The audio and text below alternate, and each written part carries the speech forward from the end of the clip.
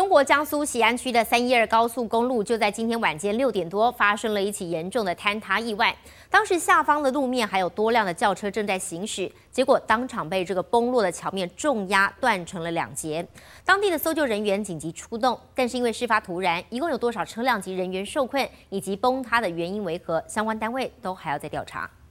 十字路口车水马龙，但轿车才刚过一半，上方的高速公路桥面突然整段崩落，下方至少两部轿车和一部小货车当场被桥面重压，车子几乎断成两半。这桥塌了，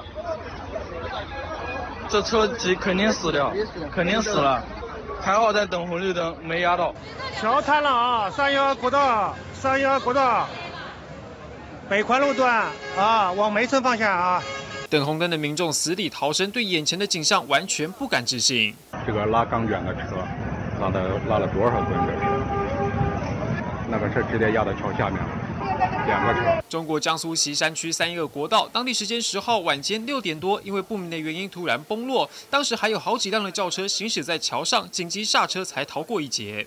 车全部塌掉了，我的乖乖，我的乖乖，现在这下完了。当地救援小组立刻出动，但受困车辆以及受伤的民众有多少人，一时间无法确定。地面协助救灾也紧急出动了直升机支援。